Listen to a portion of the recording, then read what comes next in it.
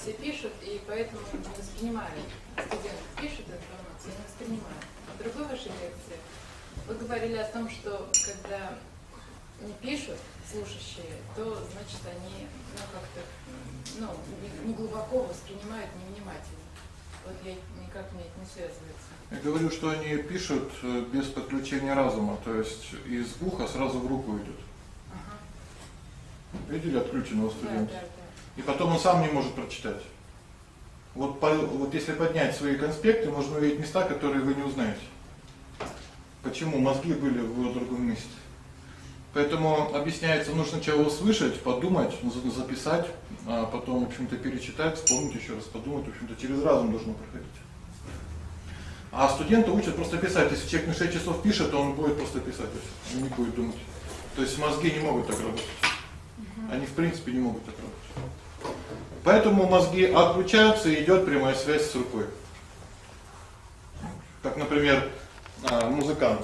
То есть у него тоже мозги отключены. То есть я я в принципе могу читать книгу, ну когда играю какое-то произведение. То есть я могу взять другую книгу и читать. То есть я могу Баха играть одновременно читать книгу. Проблем не будет. Потому что тело само играет. Это когда что-то забыл, надо там уже лезть. И, и то, в общем-то, не всегда. Но можно это делать одновременно. Или переводчик, то есть он может переводить, у него мозги даже могут не, не включаться. То есть он может на, на автомате это делать. И да, то есть, в общем-то, дело сделано, то есть это студент, он записал свои там три пары, но смысл? В мозгах ничего не произошло. Поэтому, в общем-то, без осмысления в общем-то, без обдумывания, поэтому посмотрите, сколько мы времени тратим на вопросы и ответы. То есть две, две трети мы тратим. То есть перед лекцией мы тратим одну треть, потом я одну треть читаю лекцию, потом еще одну треть мы тратим на как? То есть одна треть всего идет на, в общем-то, какое-то на записывание, а две трети идет на некоторое вот осмысление. Если человек к этому не приучен, то просто все, там ноль в голове. То есть человек думает, что нужно просто или послушать, или записать. То есть и дело сделано, дело не сделано. А к этому приучают, то есть телевидение, газеты, все, то есть оно вот приучает человека. И система образования, 6 часов каждый день по по 3-4 пары не включать мозги, так сказать, это тяжело. Потом поэтому такая проблема с экзаменами, там еще с чем-то. Почему такая проблема? То есть человек он не приучен долго думать мозгами. А тут надо думать вон сколько. То есть экзамен сдавать. Если человек каждый на каждый, в общем-то, на каждом занятии сдаёт экзамен, то есть ему дали тему, и он пытается её понять, поговорить, то какая будет проблема? Мама моя была ну педагогом, она мне говорила: "Самое главное правило а перед перед экзаменом это когда два студента друг другу рассказывают.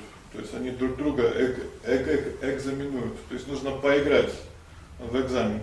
Моя мама была ну педагогом, она вот эти вещи рассказывала, что если вы ну хотя бы один раз друг другу проговорите, то вы потом сдадите любой экзамен любой. Проговорите.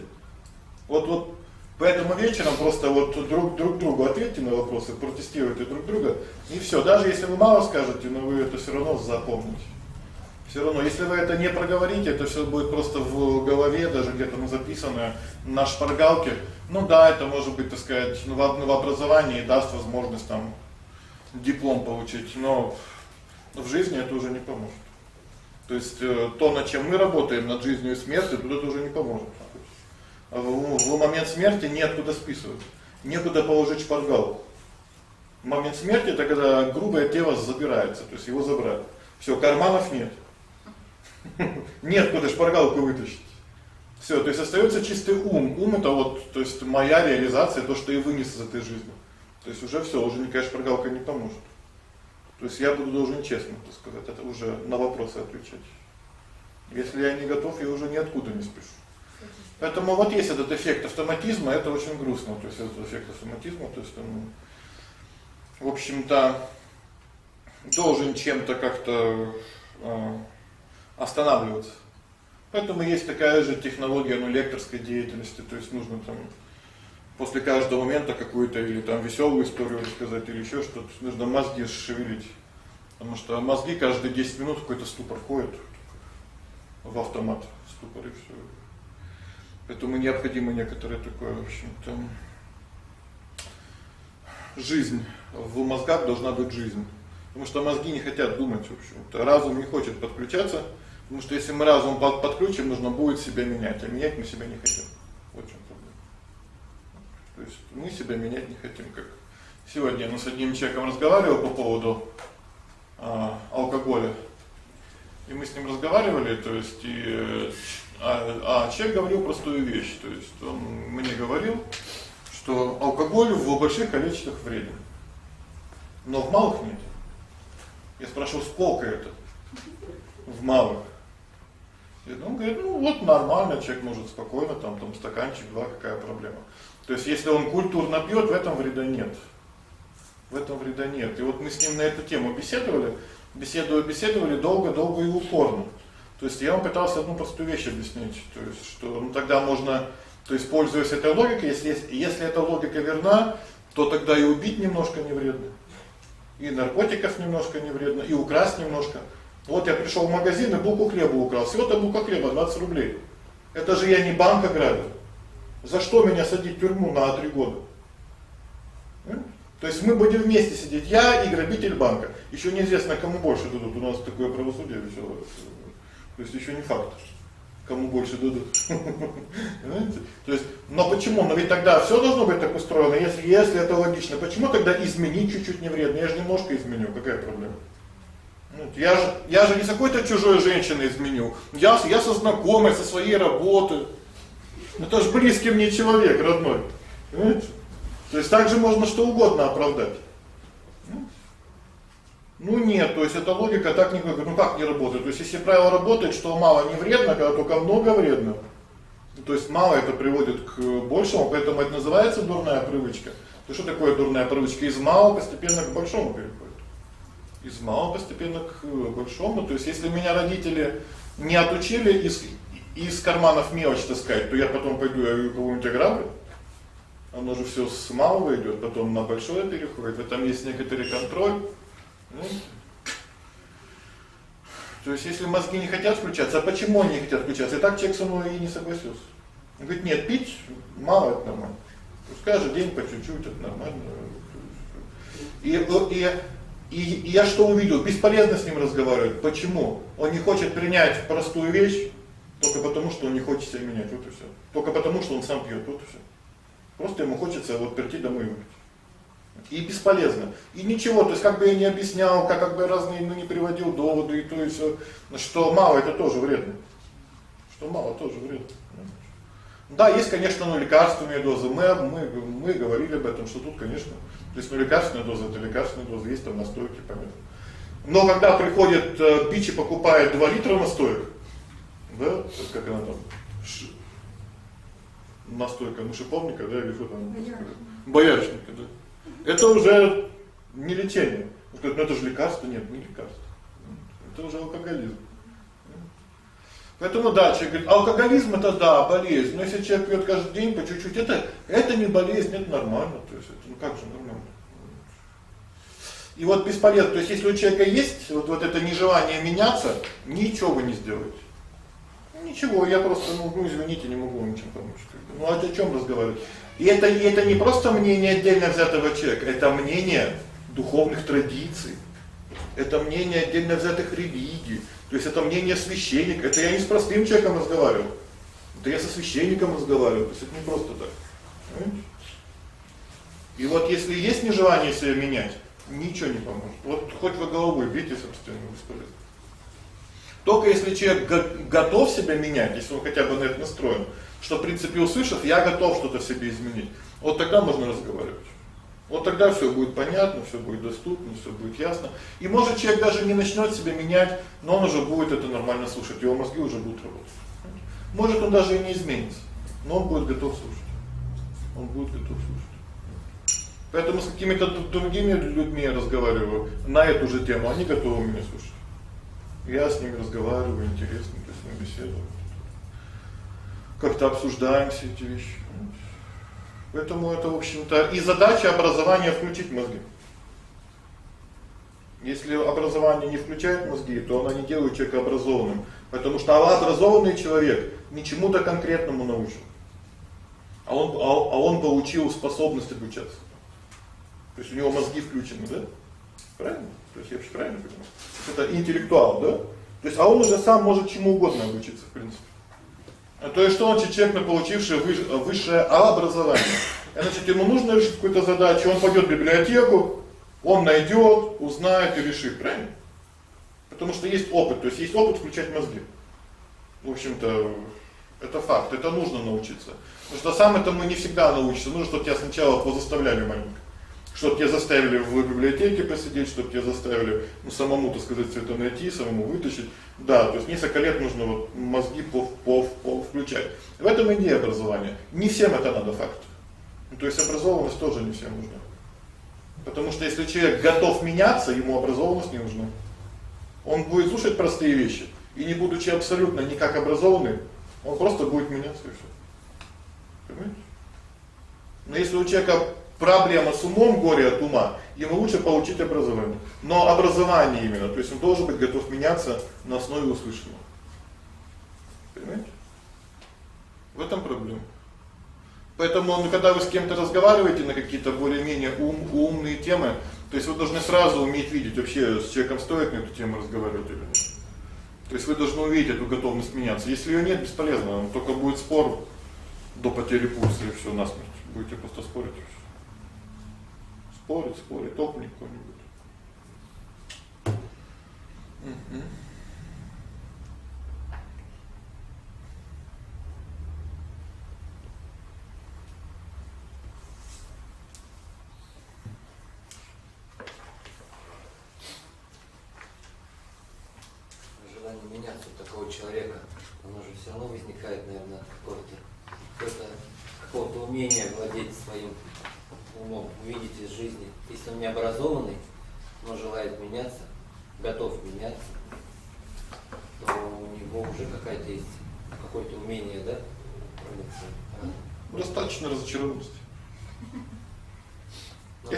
Разочарован, а разочарованность это естественное состояние к средней жизни, к, к среднему возрасту потому что будущее как-то грустное.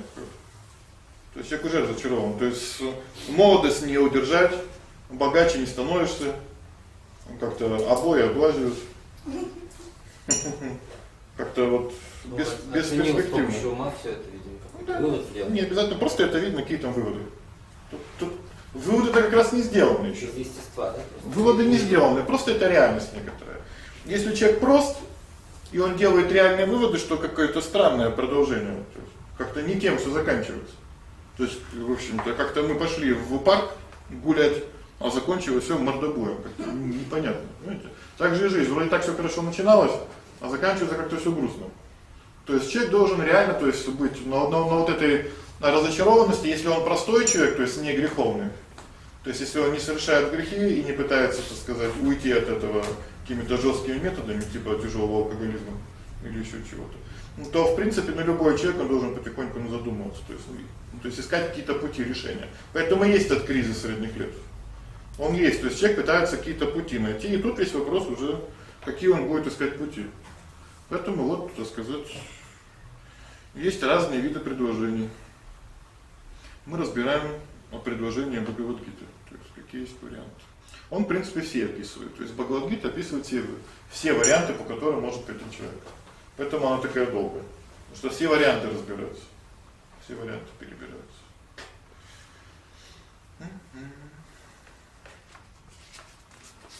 Так, мы должны сегодня целый ряд стихов прочитать, связанных между собой. Поэтому я их сейчас прочитаю. 23 24 у нас будет, 25 26 и 27.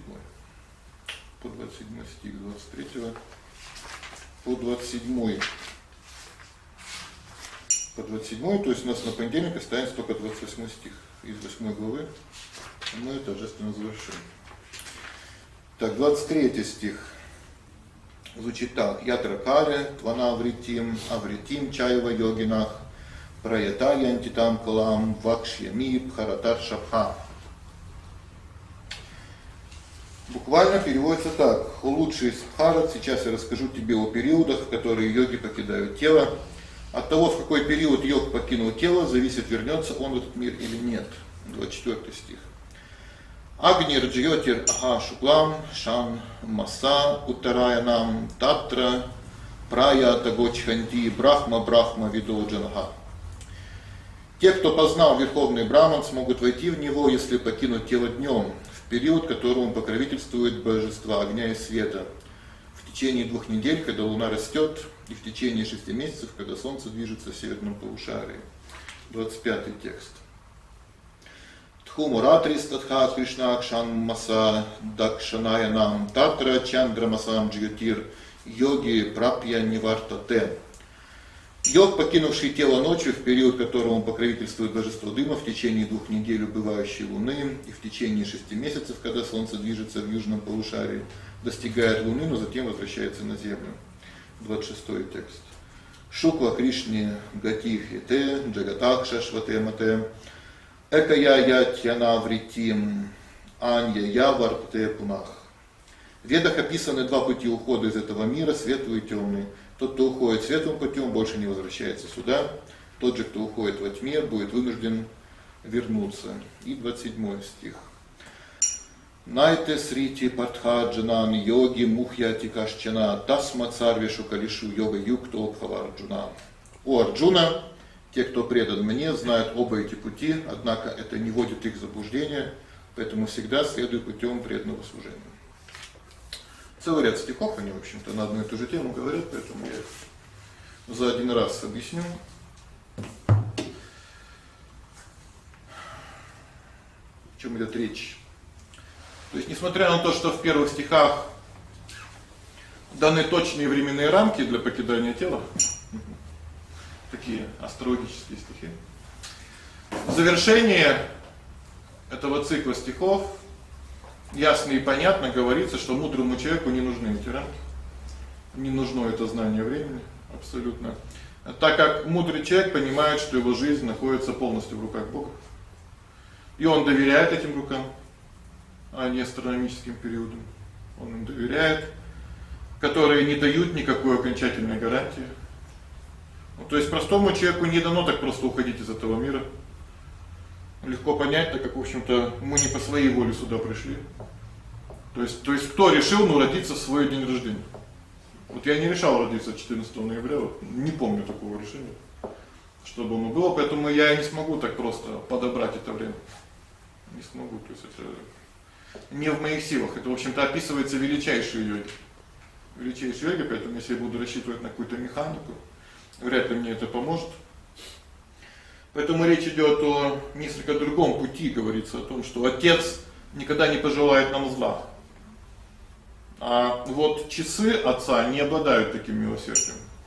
То есть часы отца и отец отличаются друг от друга. Одним словом, как бы нам не захотелось хитрить и выскочить из поезда на ходу, скорее всего, мы просто переломаем себе ноги. Ну, йога это, в общем, такая, ну, попытка схитрить, выскочить из жизни. Уж лучше честно заплатить за билет, то есть, так сказать, стать святым и спокойно выйти на последней остановке.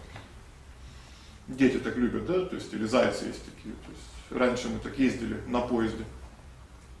Поезд на станции притормаживает, и мы прыгали за ручки, хватались и пару остановок ехали в лес. Правда, он почему-то там иногда не останавливался. И мы были такие шальные, поэтому там прыгали там в речку там ещё как-то, не знаю, как вообще жив остался. Ну как-то он живой. Ну, опасное дело, честно говоря, опасное. Если бы мои родители это увидели хоть раз, как я это делаю, их бы, наверное, Кондрат хватил сразу. Это же самое йога, это некоторая попытка так, в общем-то, прыгнуть, выпрыгнуть.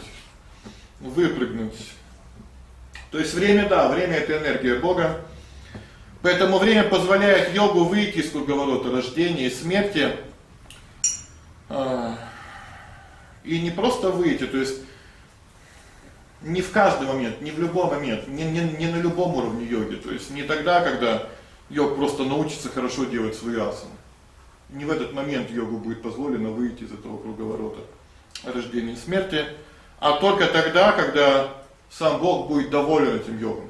То есть выход, в общем-то, вот этот, этот э, выход по времени йога из своего тела разрешается тогда, когда Бог доволен йогом. Доволен йогом, а это возможно только на последних стадиях йоги, когда йог начинает служить Богу в сердце, параматме. этому аспекту сердца, ас, аспекту Бога в сердце, это называется аштанга-йога, да, мы это уже изучали раньше. Аштанга-йога, когда, в общем-то, на последних стадии йоги йог начинает видеть Бога в сердце, он служит Богу в сердце. Вот на этих стадиях Бог становится доволен йогом и разрешает ему вовремя выйти из тела. На стадии хатха-йоги этого не происходит. Это механическая стадия. Не происходит. Такой йог называется в Бхагавад-гите опытным йогом. То есть йог, который дошел до видения Бога в своем сердце, называется опытным йогом. А это значит, что он может сам выбирать время для оставления тела.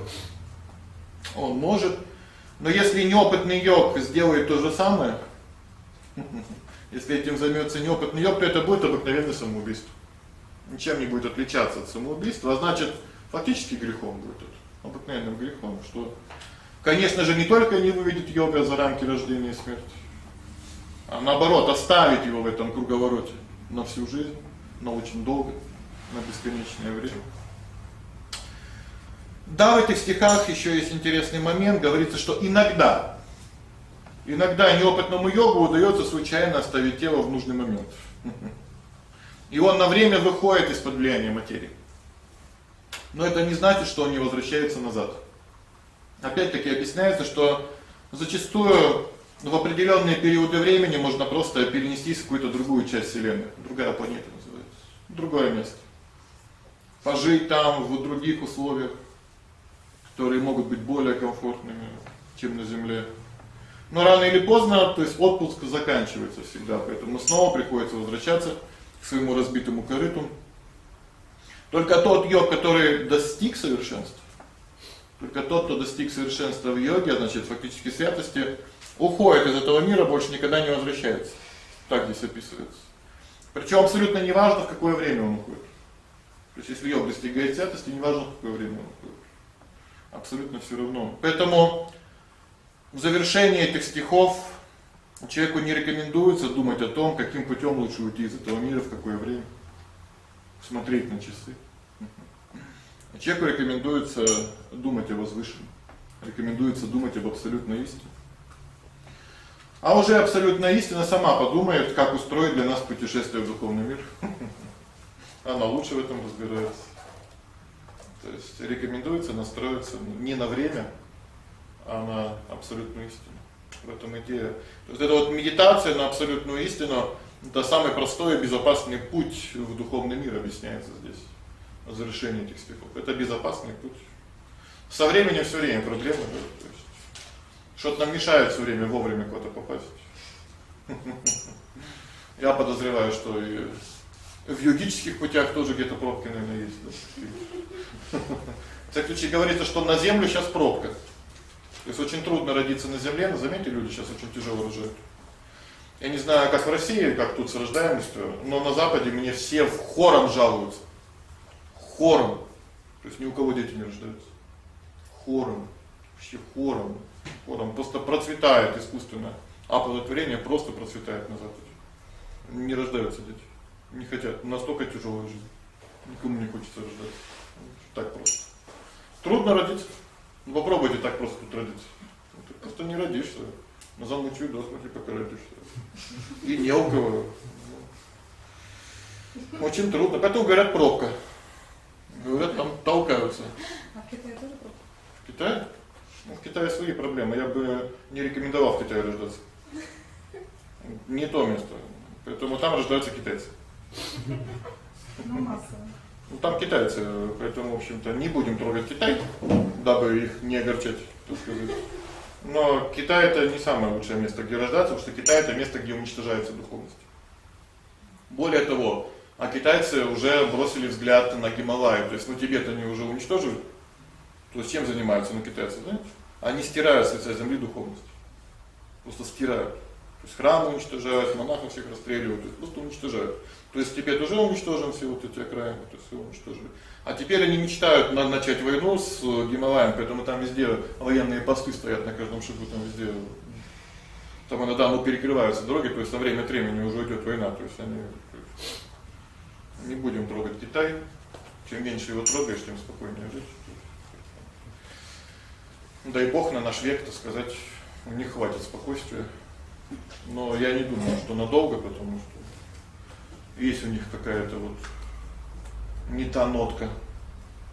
Не у всех, конечно, понятно. Но какая вот вот не та нотка у них есть, то есть не очень здоровая. Поэтому во всяком случае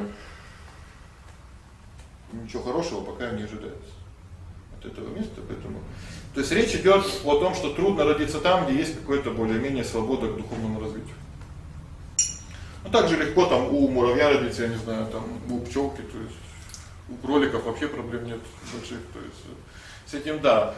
Но вот родиться в месте, где можно, так сказать, сталкиваться с духовностью самого рождения, вот это проблема.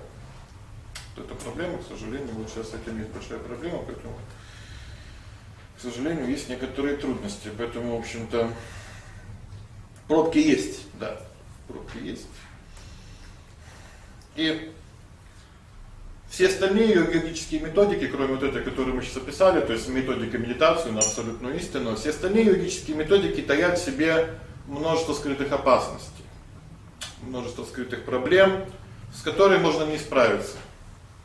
С которыми можно не справиться, потому что сейчас йога рекламируется, но ничего не говорится о трудностях йоги. Никто не говорит, что йога это хождение по лезвию бритвы. Хотя именно так определяется йога. Йога это хождение по, по лезвию бритвы. Либо ты можешь этим лезвием, так сказать, ну, сделать операцию на своем сердце и удалить все ненужное, либо ты можешь порезаться сам и порезать других. Видите, как проявляется религиозный фанатизм? То же самое в йоге. В йоге тоже есть эта опасность. То есть если я не под то руководство попаду, я таких дел понатворю. Что упаси Бог. То есть на каком-то моменте идут необратимые процессы. Как если человек а, голодает и хочет похудеть, на каком-то моменте он уже не может остановиться, да? Как это называется?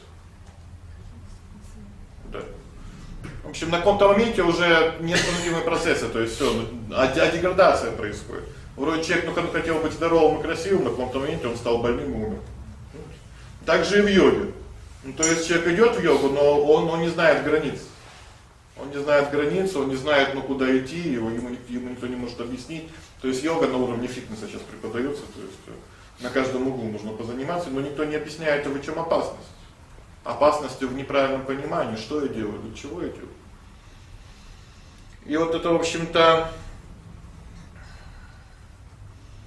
размышление, вот это размышление о хитрых вот этих нуидических приемах не что иное, как очередная ловушка ума. Например, продлить свою жизнь или не болеть, или еще что-то, или там начать летать, или исполнять свои желания, получить мантру, которая исполняет мои желания.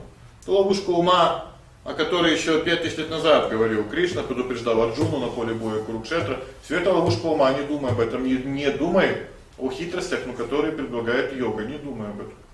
Все это ловушка. Тебя обманет эта ловушка. Ничего ты не получишь. Просто порежешься. Можно их немножко поразбирать, ряд этих ловушек. Они еще называются ловушками псевдодуховности. Ловушки псевдодуховности или ловушки йоги. Вообще, в общем-то, понятие псевдодуховность это некоторое желание выделиться через духовную деятельность. То есть человек ну пытается как-то выделиться, не может, думает, ну начну йогой заниматься, я точно выделюсь. Уж это явно должно всех удивить. То есть даже духовность можно использовать для того, чтобы потешить свою гордыню или какие-то такие материальные цели. То есть так человек думает, что он, в общем-то, будет каким-то особенным, если будет какие-то ну, сумасшедшие асаны выполнять. Будет стоять не не на голове, а на кончике носа.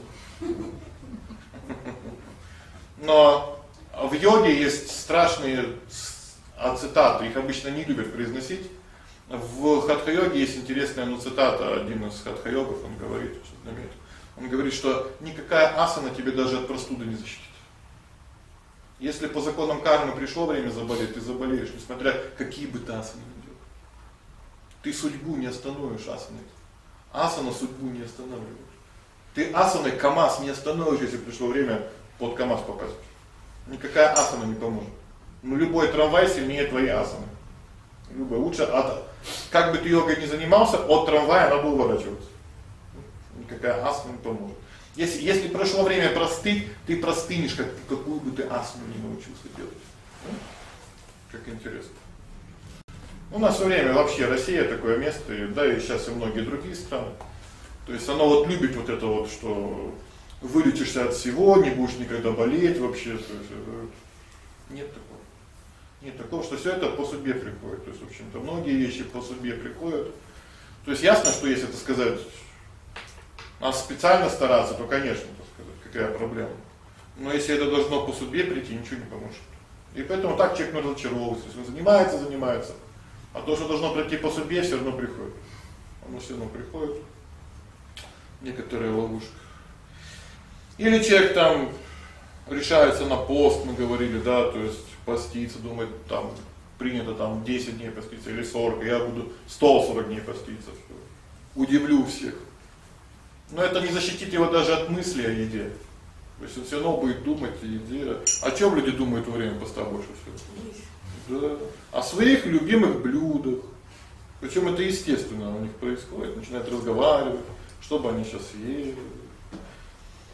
Такой человек даже может начать молиться Богу, но только для того, чтобы получить желаемое, то есть пытается получить что-то от этого, заработать что-то. А когда оказывается, что за желаемое нужно заплатить истинную цену, что все равно не будет чуда, то он меняет невыгодного Бога на более сговорчивого Бога, то есть он такой, начинает подбирать себе Бога. Ничего не понимает. Современный человек зачастую молится, чтобы не работать. Это современная тенденция. Сейчас с работой проблема. Молится, чтобы не работать. Интересно. Один человек мне объяснял один. Человек говорит, что для покупки машин, например, человеку нужно трудиться 10 лет там по 8 часов в сутки, да, ну я просто говорю. Например, он хочет такое желание осуществить. И он решает, что может быть может быть лучше 5 минут а помолиться и сэкономить эти 10 лет. Хорошая идея. Хорошая идея. Да, надо просто мантру знать, какую-то молитву и помолиться. 5 минут молюсь и решаю проблему 10 лет работы по 8 часов. Ну, очень такая, да, привлекательная идея. Но если такому человеку сказать правду, что, например, для исполнения его желания надо, надо молиться те же самые 10 лет по 8 часов в день, он в ужасе в ужасе убежит от такой молитвы, от такой духовной практики, от всего того же. Ну, так как Бог ему нужен просто для того, чтобы реализовать какую-то а, какое-то свое желание на основе лени. То есть человек просто хочет свою лень а, а реализовать свою лень. То есть он просто не хочет получить то честное, что ему должно прийти в свое время.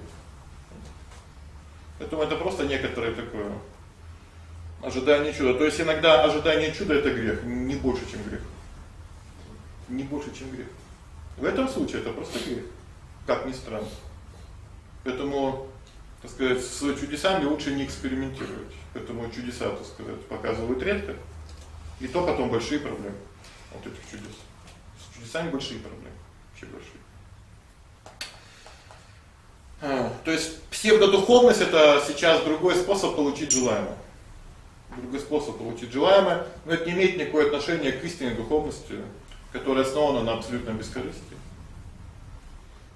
Речь идет опять-таки нужно вспомнить о бескорыстии. На прошлой лекции мы говорили о том, что бескорыстие это когда ко мне приходит положительный результат, а я не считаю только себя причиной этого положительного результата. Когда я понимаю, что это милость Бога и милость его детей, всех тех, кто меня окружает. То есть я не присваиваю себе этот позитивный результат. А если ко мне приходит отрицательный результат, то я, то я в свою очередь никого не виню. Ни Бога, ни окружающих. Понимаю, что сам виноват в том, что произошло. То есть сам пожинаю плоды своих прошлых поступков. Вот это бескорыстие. Бескорыстие это не просто пошел на рубашку снял и отдал. Это любой может. А вот правильное отношение к позитивным плодам и к негативным плодам это бескорыстие. То есть пришло хорошее, я не считаю, что это мое. Я считаю, что это вот все мне помогли. Ну, а я просто вот по, по, получил. Как это, знаете, там этим каким-нибудь ну, хоккеистам там или футболистам там кубок дают, да? И они все за него держатся. Э, не один какой-то, все. Один будет держаться, его побьют. Все. То есть командный дух. Помните, раньше было такое? Ну так и есть, то есть мы не одни, то есть и мы, в общем-то, последнюю роль в этом играем. Все это какая-то милость, это внешний фактор. Милость Бога, милость судьбы, милость окружающих. Говорится, что если просто наши родители не против того, что мы делаем, это 50% успеха. То есть, ну как минимум, ну родители 50% должны получить из того хорошего, что у нас вдруг получилось. Это их уважением, что они думали о нас, желали нам блага, добра. И вот это бескорыстие позволяет понять истинное назначение, истинный смысл любой духовности, любой религии. То есть каков смысл духовности, смысл религии, смысл пути, узнать желание Бога. Это есть духовность. Духовность это желание. Это, в общем-то, мои усилия понять желание Бога. И постараться выполнить это желание Бога. То есть чего Бог хочет от меня, то есть смысл жизни понять. Это есть смысл жизни. То есть понять, чего от меня судьба хочет. Да, чего он от меня хочет. Но сейчас остались только вот эти фантики от конфет, то есть религия потеряла эту сущность. Остались ритуалы, никто уже не помнит, зачем они нужны. Так, знаете, ученые смотрят там на пирамиды, на дольмены, на там рисунки нас, ничего понять не могут, что такое. Ну, просто интересно. Что-то, а чего такое? Может вообще, а чей-то туалет, никто не знает, что это такое. Так и сейчас э, в религии остались такие ну, внешние вещи. Столько всего внешнего, там храмы, иконы, колокольный звон, службы, ритуалы, чего только нет, но главное иногда уходит. Понимание, чего от меня Бог хочет. Что от меня хочет Бог. А ведь именно исполнение этого желания является, в общем-то, смыслом моей жизни. Я должен исполнить это предназначение. То есть предназначение должно быть кем-то предназначено. Я должен стараться это понять, каково желание Бога. И мы сейчас это узнаем заодно, да? Правильно? Ну что далеко ходить?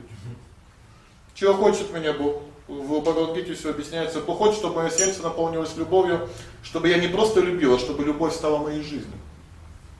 Но любовь это не дешевка объясняется. Это не просто слова. Это не просто слова. Я тоже недавно одного человека мучил, а переписывался с ним тоже священник. Я с ним переписывался, он говорит: а, ты должен просто любить. Бог хочет, чтобы ты любил. Я говорю, да, это правильно. Но объясните мне подробно, как это делать.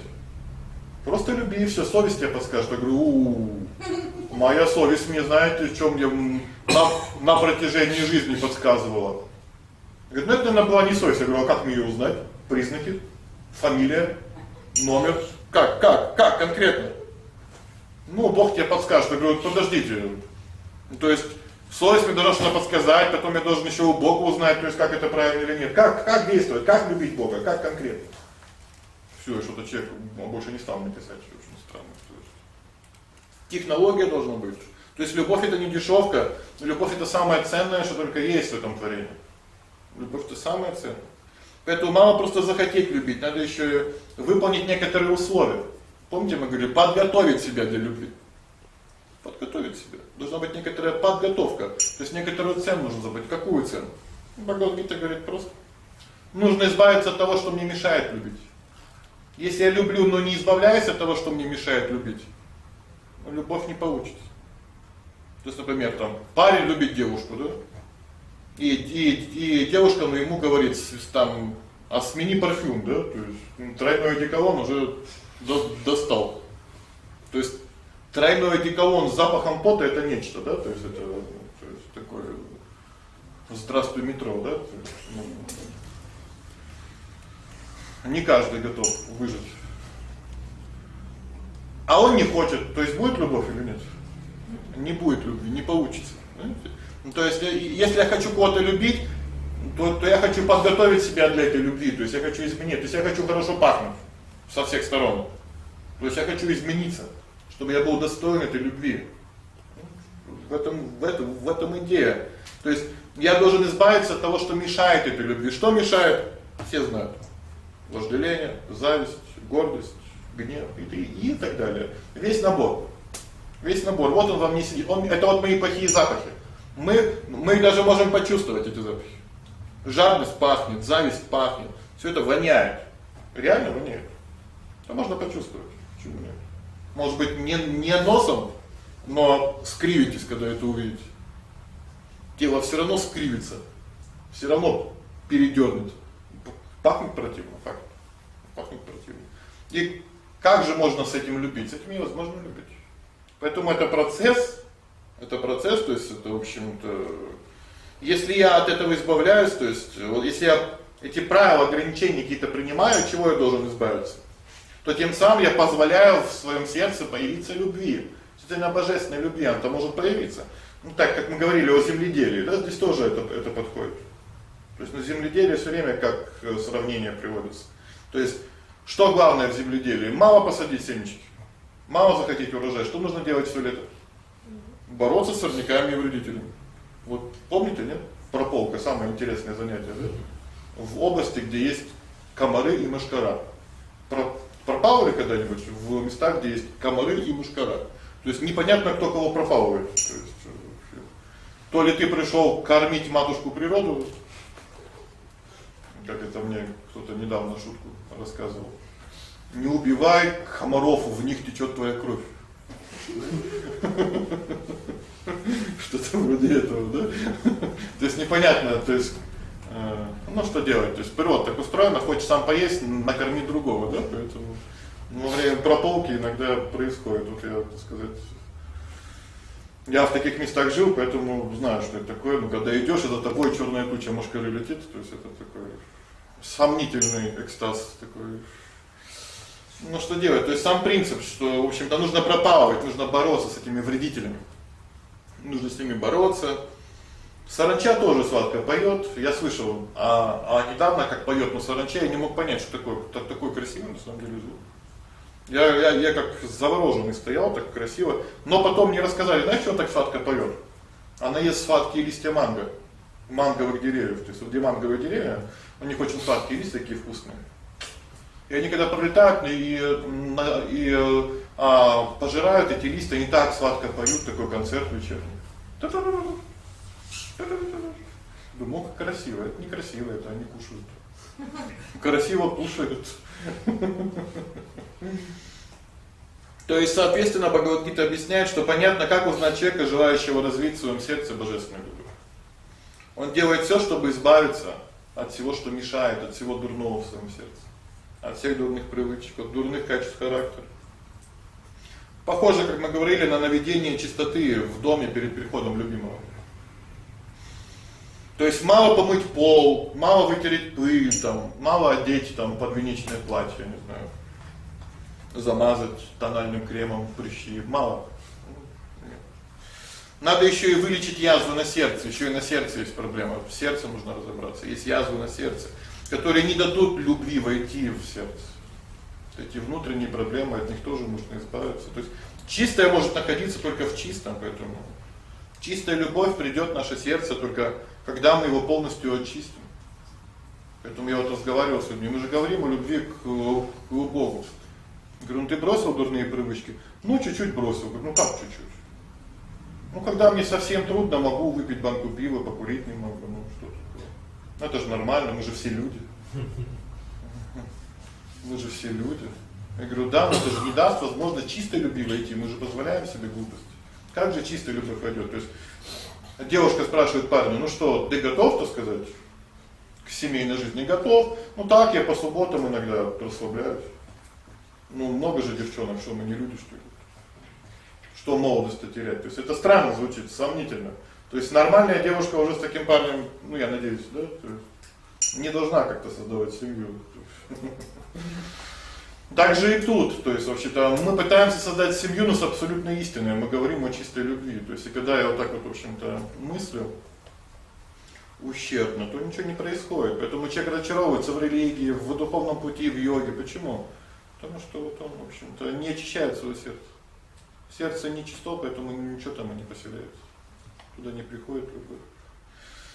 Ну, то есть если в моем сердце нет бескорыстной любви, значит в нем еще есть какая-то грязь. Поэтому я должен найти эту грязь, избавиться от нее раз и навсегда. То есть, как объясняют, очень интересно объясняют мудрецы, они объясняют, что может быть проще обыкновенной уборки. Йога очень простая, йога это просто генеральная уборка. Что может быть проще в уборке? А, а многим это даже кажется слишком простым. Ну как это, вот просто все убрался и все что ли? Для многих даже это слишком простым кажется, но объясняется путь любви прост, потому что любовь, ну, по своей природе тоже проста. Любовь тоже проста, поэтому наведи чистоту в сердце, и, и любовь сама туда придет. Она сама туда придет, ничего сложного. Она сама там поселится. Вот ум, ум очень сложен. Ум человек очень сложен, то есть горе от ума. Поэтому пока уму не объяснят, почему у всего есть причина, а у Бога нет причин. Как так? Мой ум даже пальцем, то есть точнее извилиной не пошевельнет для очищения сердца. То есть вот ум и то есть если человек с умом подходит к духовной философии, его ум не даёт ему начать очищать сердце.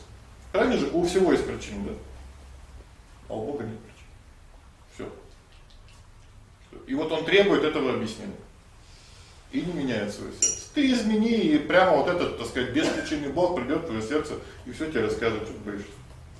Но нет, ум ум не даёт. Поэтому а, в общем-то, в Бхагавад-гите Кришна объясняет, что нас привлекает тот путь развития, который соответствует нашему уровню очищения. То есть нам нравится тот путь, который соответствует нашему уровню. Например, если я нахожусь на уровне тела, то мне нужен путь, который поразит меня своими ощущениями.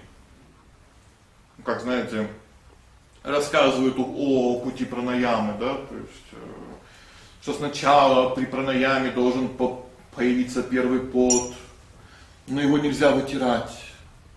Этот первый пот пранаямы его нужно втереть в тело, так этот пот даст йогическую силу. Затем, если продолжать правильно дышать, йог почувствует запах лотосов. Потом йог должен услышать звук барабанов божественных. Потом он должен увидеть других йогов, которые сидят в, в Гималаях на расстоянии от него в 10 тысяч километров, и он их прямо увидит, этих йогов. Здорового йог. И тот ему здорово, другой йог. То есть они смогут разговаривать друг с другом без сотового телефона. А потом он услышит флейту, а потом то, а потом все. Вот это путь. Вот это здорово. Вот тут все слышно, чувствуется, трогается. О, такой путь. Но это просто ловушка для слишком чувствительных. Не более того. А если я нахожусь на уровне ложного эго, ну, тогда мне нужен путь, по которому смогу только я один. Такой исключительный путь. Мне нужна секретная мантра.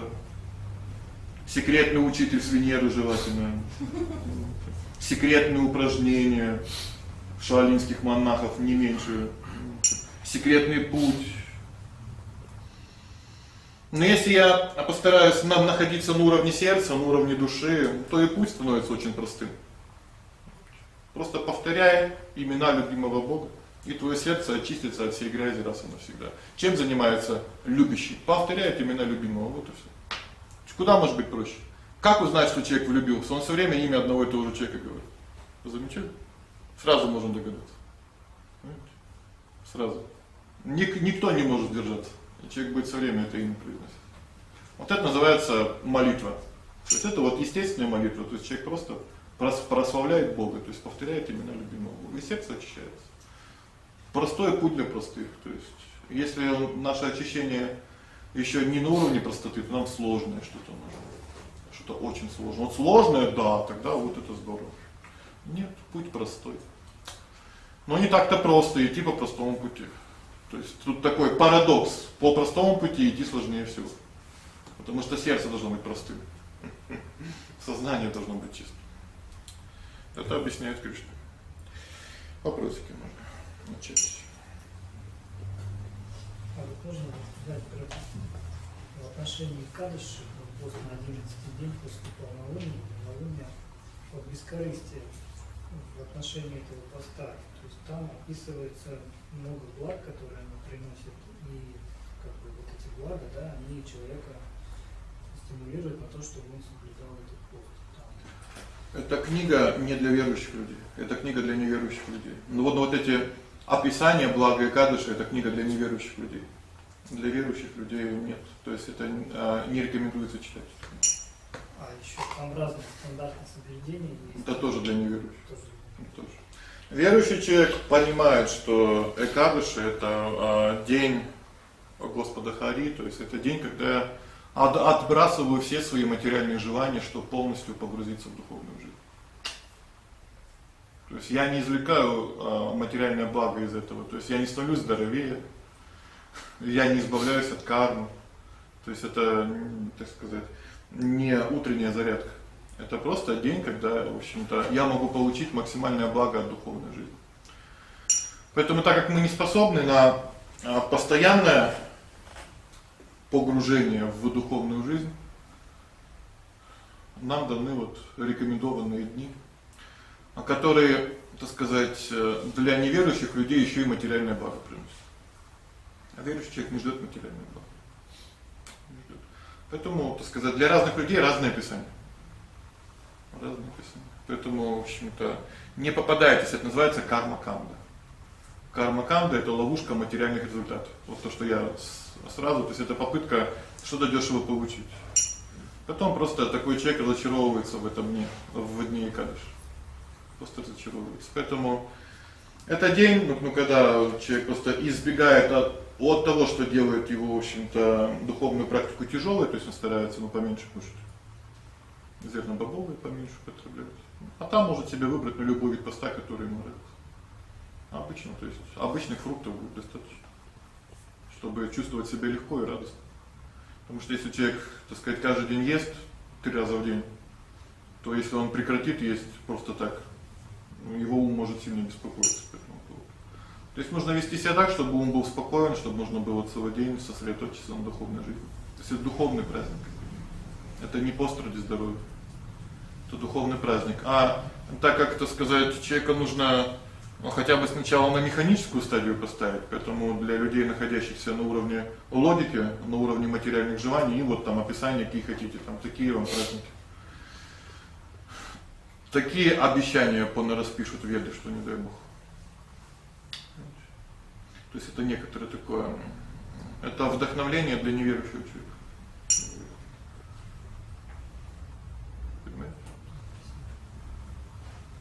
Потому что если мы ожидаем материального результата, мы ничего кроме разочарования не получим. Не получим. Это так для начала. Для начала. Так же как там вегетарианство ради вегетарианства или трезвость ради трезвости ничего не даст. То есть за всем этим должно стоять должно стоять бескорыстие. То есть Экадыши должен быть бескорыстным. Иначе может превратиться в фанатизм.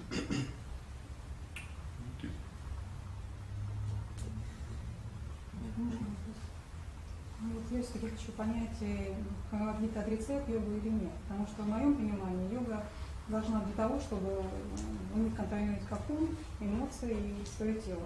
Предназначена всего для этого. Какую йогу вы имеете в виду? Йога это путь к Богу. Какую именно часть йоги вы Я имеете? имею в виду физические Асаны? асаны, да. Она не отрицает. Почему отрицает? Но она говорит, что это ничего не решит. Потому что асаны можно заниматься 10 тысяч лет. Знаете об этом? И только соблюдая целомудрие самого рождения. Два, два условия. 10 тысяч лет и целомудрие самого рождения. Один сексуальный контакт хатха-йогой больше нельзя заниматься. Поэтому это больше фитнес. Да, это полезно. То есть растяжка, все это полезно. Но если бы это контролировал ум, то эти люди бы бросали пить, курить, есть мясо и так далее. Ну, они не бросают. То есть те, кто бросают пить, курить, есть мясо, они могут заниматься йогой спокойно, то есть это им не, мешает. Но сама по себе йога не решит проблему, потому что это одна только стадия 8 ступенчатой йоги. То есть что здесь сначала? Яма, не яма, асана, пранаяма. Яму, не яму никто не соблюдает. Поэтому что говорит Кришна? Он говорит, если люди не следуют всей э, системе, то эта система им не поможет. То есть, понимаете, то есть мы, например, а, хотим на автобусе доехать до какой-то остановки. Это, это хорошая система? Хорошая, но мы должны за, заплатить за, за свою поездку. Если я не, не заплатил, это плохо закончится. То есть меня арестуют, штраф возьмут. Ну, то же самое аштанга-йога, которая описывается в ранних стихах Бхагавадгиты. Арджуна предлагает, может заняться аштанга-йогой, может пойти в лес йогой заниматься. Он говорит, да, все нормально, но ты сможешь это делать? У тебя время хватит? За сколько ты хочешь решить свою проблему? Насколько это практично? Яма, не яма. Ты готов это делать? То есть если я не не заплачу, то ничего не получится, я должен какую-то цену за это заплатить. И цена за занятие анухатха-йогой это яма, не яма.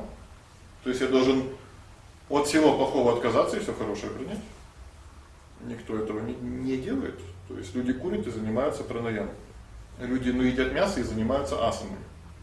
Я уже я я уже ну, ну не говорю, что сейчас йогой занимаются, чтобы повысить свою ну, сексуальную активность. То есть полностью противоположное вообще. То есть это, знаете, такой пост на торте. Постишься, пощусь, а как? Три раза в день по целому торту. То есть это полностью противоречивые вещи. Это, конечно, не сумасшествие. Поэтому а, а Кришна сразу предупреждает, что да, такой путь есть, но сейчас ему очень сложно следовать. Почему? Ну потому что, ну, во-первых, никто не следует воздержанию, то есть все распущены. Во-вторых, никто не хочет принимать первые две водные стадии яма не яма, то есть никто не хочет вести здоровый образ жизни. А в-третьих, никто не хочет этим долго заниматься. То есть люди этим полчаса занимаются в день. И всё. Как это? Сурья намаскар сколько человек делает? 5 минут, знаете, то есть утром встал и перед работой ух, ух, ух, ух. Да лучше бы отжался, мне кажется. То же самое. Нет, то есть это как как в общем-то фактор э, там вспомогательный для здоровья никакой проблемы нет. Пожалуйста, сколько хотите, но занимайтесь. Но это не решит проблему сердца. То есть хатха-йога не решит проблему сердца. То есть э, нету ни времени, нету ни системы, ни тем более специалистов по этой системе. То есть восьмиступенчатая аштанга-йога сейчас фактически не практикуется. То есть есть специалистов, но их настолько мало, что то есть нет смысла говорить о том, чтобы этим быть. Это еще он когда, так сказать. То есть что говорит Кришна? Он говорит: "Ты ты собрался идти в йогу, чтобы идти в йогу, ум должен быть кристально чист. То есть ты не должен думать о о греховных вещах. Твой ум должен быть спокоен, чтобы заниматься йогой". И он его спрашивает: "Ты, Арджуна, воин, у которого было множество женщин, а который что только не делал в своей жизни. Ты хочешь идти в лес и успокоить свой ум? Ты с таким прошлым не сможешь этого сделать. Твое прошлое тебя там достанет. О чем мы думаем? Мы думаем о своем прошлом, о впечатлении. Поэтому йогой нужно заниматься с трех лет желательно. И заниматься, и заниматься по жизни.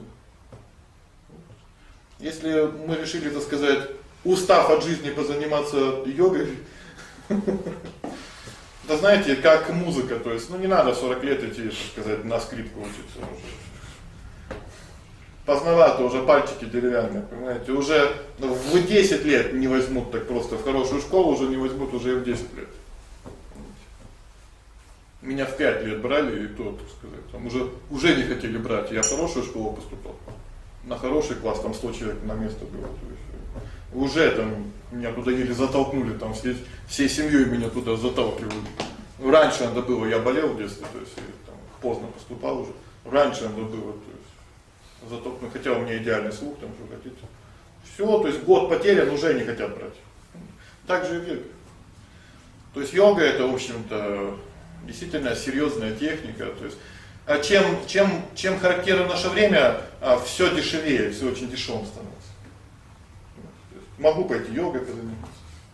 Могу пойти любовь купить, то есть на углу, то есть могу пойти то всё, то есть всё что угодно можно купить. Всё что угодно, но результат, результат такой же. То есть то, что я дешево купил, дешевый результат приносит. Поэтому получасовое, так сказать, на занятие йогой два раза в неделю даёт такой результат. Пол получасовой. Ну да, то есть там тело как-то разминается. Но если человек просто неправильно питается, он даже, так сказать, ну растяжка ему это не поможет. Ему только хуже будет. Ещё ещё не факт, что это будет, ну, полезно всё. Что нужно ещё, сказать, посоветоваться, ну, с опытным врачом вообще, насколько это всё будет полезно. Что потом не вправишь. Если там что-нибудь в теле, так сказать, не не так сделать после 40 лет, потом не не факт, что обратно вправишь. То есть это, так сказать, в в молодом возрасте всё как-то более-менее так не попроще. Но там уже не дай бог что-то, так сказать, что-то не туда. какой-нибудь вывих там или растяжение. Не дай бог перелом уже так просто обратно уже не вправишь, уже долго заживает, уже не спаси бог. А хочется же сразу что-то максимальное такое. Тут наоборот, тут нужно, чтобы был грамотный специалист, чтобы он направил, сказал, что это на всю жизнь, что это потихоньку, что это мы, вот, так сказать, шавасаны начнем, первый год шавасаны. Ну, да, то есть правильно там сказать, спать научиться, да. Да, ну, то есть Сурья Намаскар через 5 лет начнем потихоньку делать. То есть, если человек к этому готов, то есть спокойно к этому приходить, то есть, тогда да. Тогда да, то есть все это, то есть постепенно. Но если это вот просто такое, так сказать, очередной фитнес, то больше вреда, чем пользы. Больше вреда. Просто, так сказать, благое имя йоги сравнивается, в общем-то, с простой зарядкой, теряется смысл. Йога это путь к Богу. Это путь к Богу. Йога переводится путь к Богу. И в аштанга йоги, да, последняя ступень, как я сегодня объяснял, то есть ну, совершенство йоги это когда йог в результате полного успокоения ума начинает видеть Бога в сердце. Начинает служить Богу в сердце. Современные занятия йогой не доведут до такой стадии. То есть он будет в своем сердце видеть своих девчонок. Те приключения, которые он совершал в своей жизни. Ну попробуйте немножко помедитировать, там все увидите. Не так просто. Бог так просто в такое сердце не придет. Поэтому это как вспомогательная методика. То есть он не против, но он говорит, ты, ты проблему не решишь. То есть вы, в чем интерес этой книги? То есть он стоит на поле боя. Ему нужно либо идти биться, либо как-то решать эту проблему. Он говорит, может, хатха-йогой позаниматься? Говорит, что, сдурел? Вот, война. Какая хатха-йога?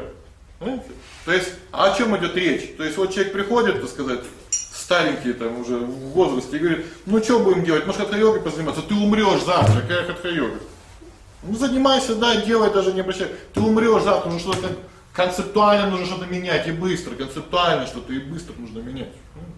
То есть уже все, то есть и вот он, то есть стоит мужик здоровый, с саблей в руке, говорит, можешь помедитировать маленько в лесу. Куда медитировать, у тебя автомат в руках. Ты стоишь на поле боя, там фашисты, то есть, ну я грубо говорю, ну, куда медитировать уже, какая хатха-йога. И вот так же мы, то есть мы уже всю жизнь прожили, уже умирать скоро, какая просто йога, то есть нужно какие-то реальные шаги делать. Реальные шаги. И, и это не помешает, да, иди там делай растяжку по утрам, занимайся, там дыши, все нормально. Просто учителя найди нормального, спокойного какого-нибудь и занимаешься. Но шаги, главные шаги должны быть другие, то есть нужно, другие. нужно понять, что хочет меня Бог, да, вот мы должны к этому вернуться. Что я должен конкретно делать? Вот она ситуация, вот она война, вот, вот надо что-то делать, что Бог от меня хочет. Об этом речь, об этом Бхагавадгита. Об этом Бхагавадгита. Об этом Бхагавадгита. Поэтому он не против. Он объясняет реальность. Реальность. Реальность. То есть он говорит, жизнь как капля на лепестке лотоса может скатиться в любую секунду. Поэтому нужно концептуально что-то менять, концептуально. А все остальное не мешает. Все остальное не мешает. Оно может помогать, способствовать. Но шаги должны быть реальными. То есть нужно к Богу обратиться. Поменять что-то реально. К кому я обращаюсь? Каков мой мотив? Поэтому Кришна говорит, не поменяв мотив, ты ничего не поменяешь. Не поменяв мотив, ничего не понимаешь. Поэтому Бхагавадгита это речь о мотиве, о мотивации. Потому что на, на внешнем уровне уже поздно менять. Растяжку вы за 15 минут не сделаете. Только мотив можно поменять быстро. Ум вы не успокоите за 15 минут. Вот реально поле боя. Вот стоит Арджун. Что он может сделать за эти 15 минут? Вот у него есть 15 минут, чтобы поговорить с, с, с, с Кришной. И он ему предлагает все, кроме мотива. Но Арджуна все время говорит, нет у тебя времени. Нету времени. Нету времени. Только мотив. Только мотив. Только мотив. Только мотив. Ты можешь за это время только мотив изменить. С другим мотивом идти биться. С другим мотивом. Не для себя, для Бога идти биться. Убрать весь эгоизм своей мотивации. Вот целая книга об этом о мотиве. Психология рядом не стояла. Даже рядом. Вот, да, такая интересная книжка, да. Вот ты с этим разбираемся. Видите, уже сколько третий год уже пошел. Восьмую главу заканчиваем уже в понедельник. Девятую начинаем. Уже кто-то со мной, наверное, тут ну родился, вырос. И уже детей, наверное, родил. Уже уже дети взрослые, наверное, у кого-то уже уже пошли в детский садик, у кого-то дети, кто со мной начал читать, да? Нет? Уже когда мы начали три года назад. А когда мы еще ее дочитаем, уже внуки должны потихоньку появляться. Дочитаем, куда мы денемся. Я стараюсь. Должны прочитать все. Должны прочитать. В этом идея. Поэтому, в общем-то, это не значит, что если мы ее по одному стиху читаем в там неделю, да, то нужно и дома так же делать. Нет, дома нужно ее уже сто раз было перечитать. Потому что я, в общем-то, на каждой лекции я пытаюсь, в общем-то, все значение Бхагавад-гиты объяснить.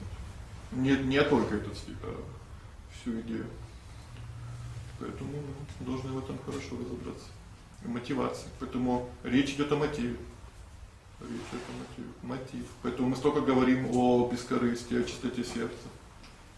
Потому что Бог что-то хочет от меня. Вот Бог хочет, чтобы вот смотрите, вот я родился, Бог хочет, чтобы у меня были эти родители. Что я могу изменить? Вот я родился, у меня реальная мама и реальный папа. Я могу только себя менять, потому что они могут быть разные. А потом Бог хочет, чтобы у меня кто-то родился. Что я могу изменить? Он уже родился. А только себя. То есть Бог мне послал какого-то на супруга или супругу, они все хорошие до ЗАГСа. Да? Что я могу дальше сделать? Только себя могу менять. То есть Бог мне что-то послал. И, и также все остальное, здоровье какое-то Бог мне послал. Что я могу сделать? Ну, конечно, я там иду к врачу, но если Бог решил, что эта болезнь будет со мной всегда, она будет со мной всегда, и всё, что? Ну, что я могу сделать? То есть Бог вот, то есть да, какие-то вещи я могу менять, но я их меняю тоже с этим бескорыстным чувством. Ну поменяются, поменяются, нет, ну нет, ну что я могу сделать? Ну, что я могу сделать? То есть я прилагаю свои усилия, но я но помните, но, но бескорыстный. Если я получаю позитивные результаты, то что я помню? Это не я, это милость Бога и тех, кто меня окружает. Я тут просто вот рядом стоял, тут сказать, да, свои усилия приложил, конечно. А без меня бы тоже, конечно, это не произошло. Но я не концептуальный, в общем-то, источник этого результата. Не концептуальный. А если приходит что-то плохое, то я как себя веду опять-таки? Никого не виню. Не виню ни Бога, ни окружающих, понимаю, вот последствия моей деятельности пришли. Последствия моей деятельности. Вот это моё бескорыстие. И так я могу действовать спокойно. Поэтому Кришна говорит вновь и вновь Арджуне: один способ только есть действовать в этом мире правильный, и только один способ, как действовать в этом мире и чувствовать себя счастливым. Это действовать активно, выполнять свой долг, но не наслаждаться результатами деятельности. Не считать себя то вот этим, так сказать, окончательным творцом. Ты не Бог, ты слуга Бога. Как только я себя считаю Богом, то всё зависит от меня, я буду страдать. У меня будут огромные проблемы, я буду несчастным. Ты не должен себя считать Богом, действуя. Но это не значит, что ты должен останавливаться, да? То есть опять-таки мы к этому вернёмся. То есть то есть а что, ну какую даёт идею Арджун? Он говорит: "Я действую, всё плохо. Я действую, всё нехорошо. Что бы я ни делал, всё только плохо". Правильно? То есть всё вообще всё пришло к войне. Ну, дурость. Поэтому что он говорит: "Надоело мне это всё, я не буду больше действовать". Правильно? Говорит: "Всё, ухожу в лес, надоело мне это всё". Но что ему говорит Кришна? Нет. Говорит, ты должен действовать так же активно, но сменить мотивацию. Ты должен действовать не для себя. Ты не должен ожидать, что придёт то, что ты хочешь. Ты должен действовать из чувства долга, что ты обязан, что ты воин. Ты должен идти сражаться. Пришла война, ты должен идти сражаться. Ты не должен считать себя окончательным действующим. Ты должен исполнять свой долг бескорыстно. Какие придут результаты, какие придут. Иди. Иди выполняй свой долг. Вот каждый раз утром просыпаясь перед работой, можно об этом вспоминать. Очень хочется, да, то есть это с самой школы это началось. Очень хочется сегодня дома остаться и поспать, отдохнуть. Но каждый раз нужно вставать и исполнять свой долг. Всё время. Всё время. И вот об этом, в общем-то, Бхагавад-гита. Что мы всё время ну хотим начать бездействовать. Мы всё время хотим уйти от деятельности. Но мы не хотим поменять мотив. Пока мы не поменяем мотив, счастья в сердце не будет. Спокойствия в сердце не будет. То есть пока мы не поменяли мотив, что бы мы ни делали, всё это будет неверно. То есть это будет эгоистично, значит, будет причинять мне боль. Все это будет болезненно. В этом идея Бхагавадгиты. От мотива все зависит. Чем отличается у убийцы от воина? Мотив. Мотивация. Воин может превратиться в убийцу, а убийца может стать воином. Мотив. Мотив. Поэтому что суд рассматривает самое первое? Мотивацию рассматривает. Был ли мотив? Мотив, да. Мотив важно. Мотив определяет, кто я, воин или убийца. Мотив определяет, кто я. Тут много хитростей. Помните, берегись автомобиль? Как его там звали? Деточки. Деточки. Как он хитро с мотивами манипулировал. Говорит, ну у меня же хороший мотив. Да? Видите, как хитро? Я же ради детей ворую. Тут очень много хитрого всего. Ну. Поэтому вот фильм о чем предупреждают? Нельзя манипулировать мотивами. С мотивом нужно разобраться. Ты все равно это не для Бога делал. Это был твой корысть. Ты хотел быть великим боготворителем, поэтому в капканчики он попадал время от времени. Очень серьезно. Большие проблемы были. Мотив-то был не тот, корыстный был мотив. Мотив была просто благотворительность, это не духовный мотив. Не духовный мотив благотворительность. Это материальный мотив. То есть можно выделиться двумя способами: быть великим негодяем и быть великим благотворителем. Это также материальный мотив. Не факт, что, так сказать, деньги там переведёшь и всё будет хорошо. Если бы деньги что-то решали, уже мы давно ими правильно воспользовались, да? Мы бы их счастье прямо сегодня перевели. То есть, если бы деньги давали счастье, мы бы сейчас скинулись, купили счастье, выпили, да? И всё было бы хорошо.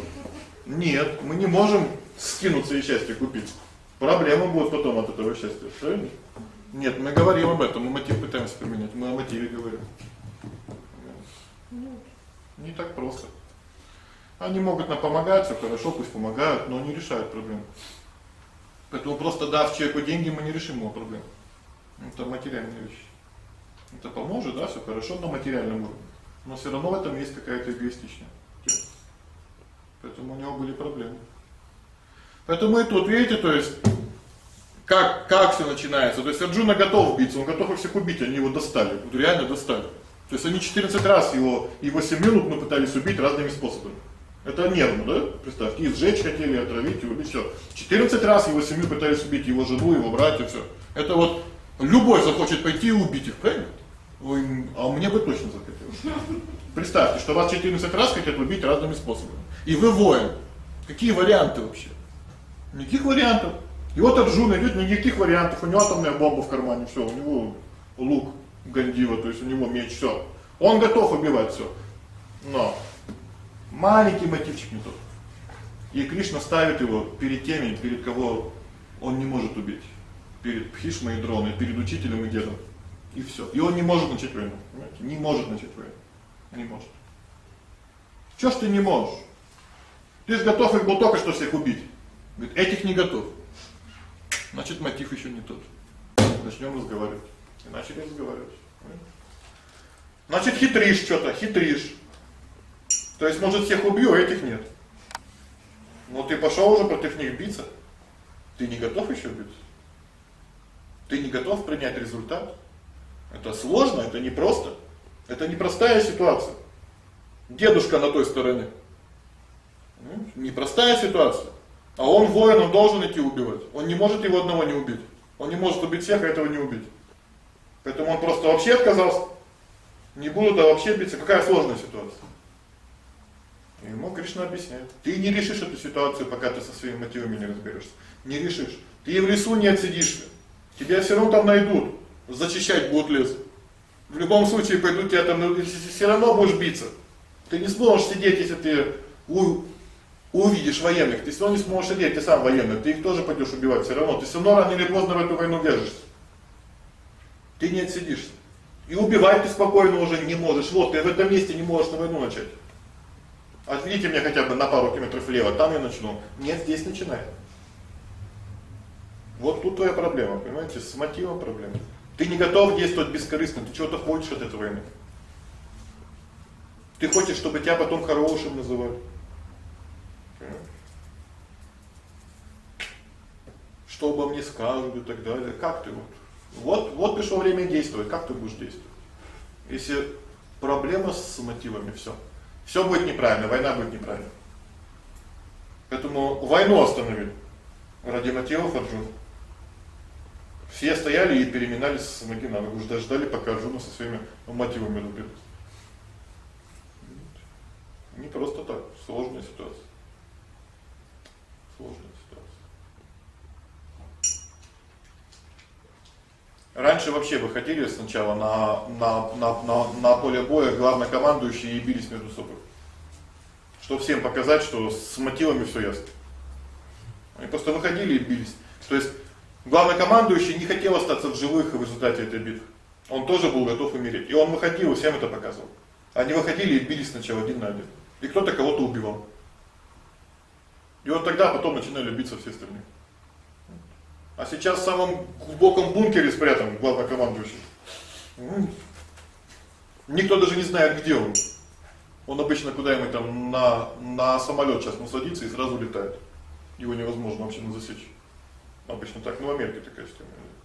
То есть сразу на самолет и лететь куда-нибудь на Северный полюс, чтобы никто его не мог засечь. И летит. Он летает. А там война идет. Мотивы не те. А раньше вот он, главнокомандующий, он идет умирать первым. И он и он идет именно умирать.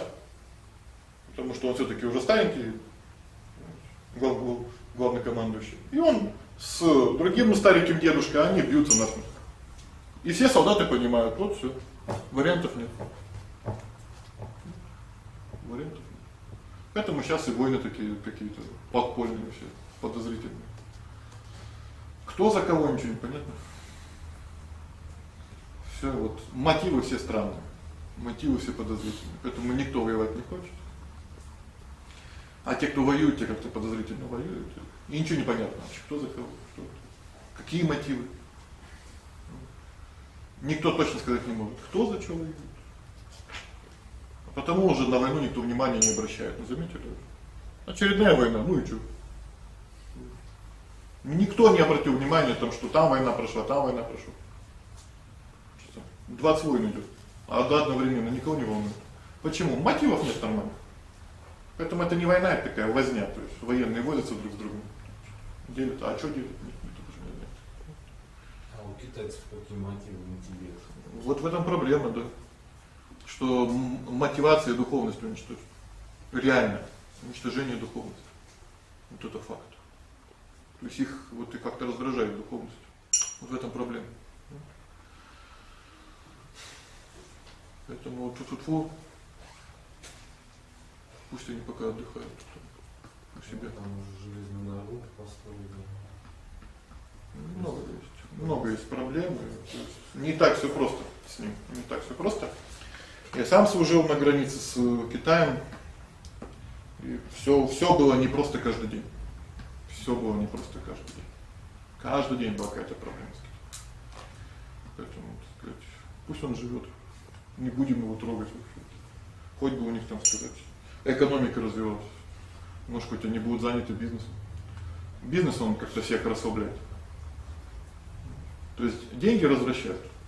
Поэтому если они будут хорошо заниматься бизнесом, они отстанут от религиозной темы, ус, ус, успокоятся, и все у них развалится вся вот эта вот идея, как бы достичь какой-то своей там философской концепции, она должна по идее развалиться. Поэтому пусть у них все процветает. Пожелаем им удачи в бизнесе. Бизнес обычно все разваливает. Как только человек чувствует деньги, он забывает о Боге, там, о своих философских идеях и всё. Поэтому дай Бог им побольше денег. Чем меньше денег, тем больше люди думают о философских идеях, о религии, о духовности, о Боге. Тут начинается проблема. Потому что об этом нужно правильно думать. В Штатах у них там много религий. Ну там там свои проблемы. Там свои проблемы. Не будем их трогать. Они от нас далеко. А вот эти рядом. С ними интересно. Поэтому посмотрим на развитие событий. Если мы меняем мотив, то нам всё равно, что будет происходить в этом мире. Мы будем с правильным мотивом находить правильное решение. Потому что если будет всё хорошо, наш мотив будет неправильный, то всё равно всё будет плохо. Потому что с неправильным мотивом всё будет плохо. Если будет всё плохо, у нас будет правильный мотив, всё будет хорошо. Потому что правильный мотив это решающий фактор. Правильный мотив. Угу. Хотел спросить про мотив. То есть этот момент, э, я понимаю, что человек сам имеет власть выбрать такой мотив или другой, но вот разобраться с этим мотивом да. помогает что? Понятно, что жизнь там что Да, да. С учителем как-то проходить надо или то есть вот этот момент. Мотив это это в общем, то что такое мотив? Мотив это не то, что мы принимаем на 5 минут. Мотив это должна быть наша хорошая привычка. То есть это должно быть уровень нашей привычки сначала, а потом это должно стать нашей сущностью. Поэтому когда я слушаю буквально мудрецы говорят, Бхагавад-гиту, вот это знание о мотиве можно слушать только в в приложении к своей реальной жизни, к тому, как мне жить с этим сегодня и завтра. Если я начинаю это практиковать ежедневно на мелочах, на маленьких вот этих ежедневных моих а ситуациях, то этот мотив сначала становится, в общем-то, из механического он превращается в хорошую привычку, а из хорошей привычки он превращается в мою сущность.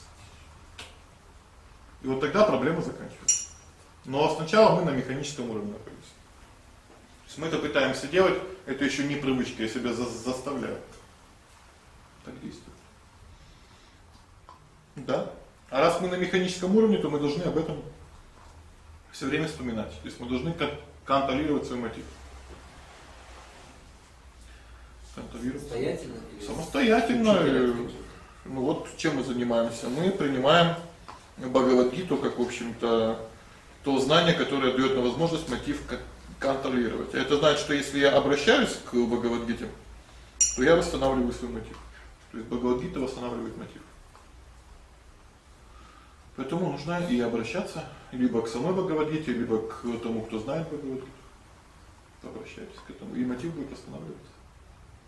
Видите, мы вновь и вновь к ней возвращаемся. Мы не сможем обойти Бхагавад-гиту, то есть это не тот трактат, который проходной, что мы его изучили и дальше пошли.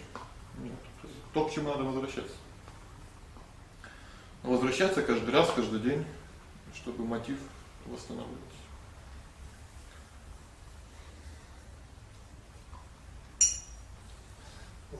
восстанавливаться. повторять имена Бога. Можно поподробнее? Да. Любая молитва это повторение имен Бога. Просто любую молитву. Любая молитва, то есть да, если молитва состоит из имен Бога, то это молитва. Как каждый день. Поэтому в любой духовной практике, в любой традиции есть молитвы, которые состоят из имен Бога. Поэтому это может быть э, Иисусова молитва, мусульманские молитвы, молитвы. То есть уже в зависимости от того, какую традицию вы принимаете для себя, нужно взять молитву, которая состоит из имен Бога и повторить по времени. Чем больше, тем лучше. Говорится, непрестанно, апостолы говорят, непрестанно, молись непрестанно, буквально так звучит. Все традиции говорят, молись непрестанно.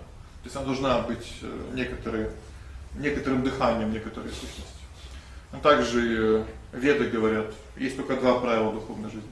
Всегда помнить о Боге, никогда его не забывать. Поэтому молитва это некоторое дыхание души дыхание сердца. Есть дыхание тела, а есть дыхание души. Поэтому молитва должна быть таким же вот естеством. Поэтому, конечно, то есть речь не идёт там о минутах, о днях, речь идёт о естестве. Как мы дышим, мы даже не задумываемся, что мы дышим. Также и молитва это некоторое состояние сознания. Ну, а как мы говорили, то есть сначала это механический уровень. То есть нужно сначала как-то входить в это состояние, выходить, Потом это становится хорошей привычкой. Потом это превращается в моё дыхание. В моё дыхание. Сосредоточиться в это время. А когда ничего кроме молитвы нет, нужно быть сосредоточенным только на молитве. А когда вы делаете что-то другое, то вы делаете что-то другое, а молитва как дыхание идет. Но она все равно есть. Вы все равно помните.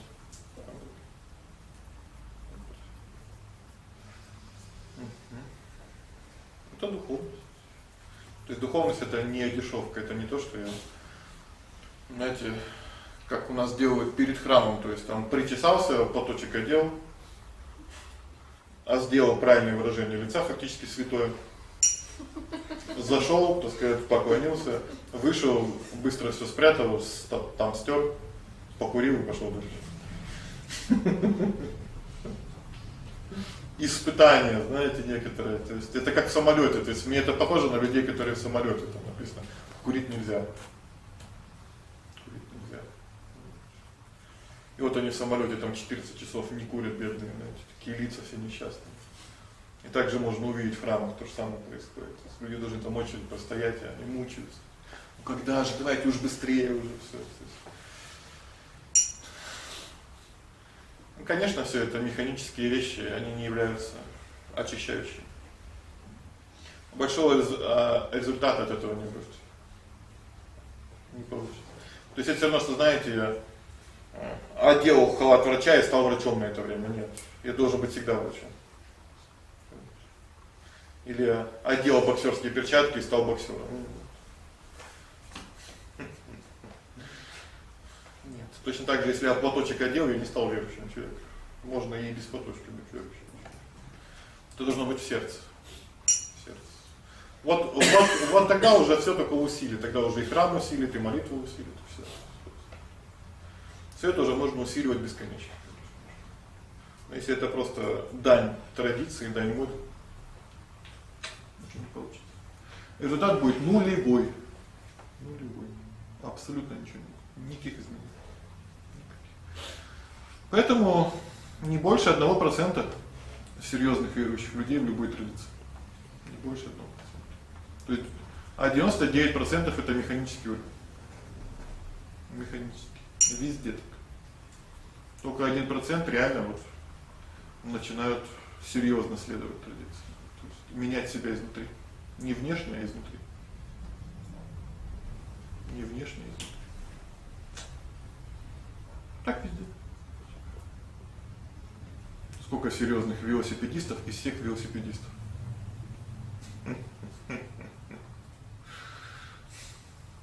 Точно так же. Не мир серьезности, тут все хотят легкости. Тут все хотят, чтобы все было легко, просто, чтобы и играла расслабляющая музыка, ничего от тебя не просили, не требовали, чтобы я просто расслаблялся, желательно лежа. Да, то есть тут все хотят легкости. Но выход только через серьезность. Только через серьезность. Разобрались? Разобрались. Хорошо. Спасибо большое. Aplausos